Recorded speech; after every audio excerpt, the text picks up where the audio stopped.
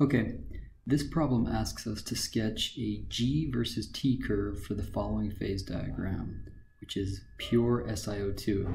As we change pressure or temperature, we see that there's a lot of different phases that SiO2 can actually form in.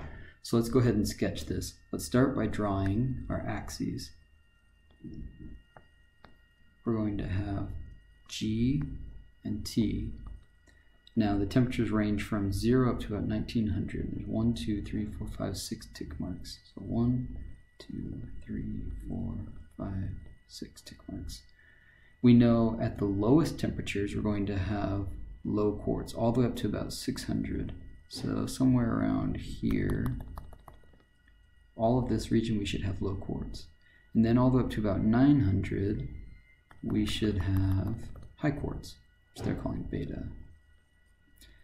We then have a region up to about 1500 where it's tridymite. So again, if that was 3, 6, 9, 10, 15, we'll just call that capital T. And then we have cristobalite for region, and finally we end up with liquid.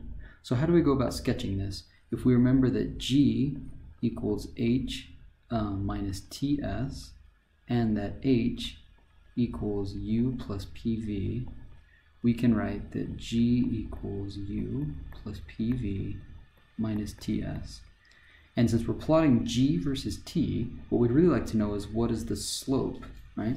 What is the derivative of dG dt? And looking at our expression just above, we see that there's no t except for in the last term. When we take the derivative once, all that we're left with is negative s. So the slope should be proportional to the negative entropy. So we have five phases to consider, low quartz, high quartz, tridymite, cristobalite, and liquid. If we're going to use the approximation of straight lines, we know first off that liquid's going to have the highest entropy. So let's go ahead and sketch it. We then write, let's do a series of lines with slightly increased, slightly decreasing slope, making sure that we intersect at the right spots. So right there, there. If I've tried to draw these so that these points where they intersect lie right on those dashed lines um, with, with some success. I mean, that didn't match up exactly. But that's how you'd go about sketching these.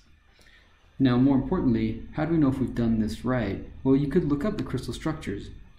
Basically, this says that liquid has the highest entropy, but then entropy decreases as we go down, starting with cristobalite, which should be the most disordered, followed by tridymite, which is slightly less disordered, beta becoming more and more ordered, alpha being the most ordered. Here's those same crystal structures. Again, cristobalite being the most disordered, down here in the bottom right, followed by tridymite, then high quartz being increasingly disordered, and finally low quartz so you see that there is a trend that more or less agrees with the negative entropy which this phase diagram had suggested we would observe.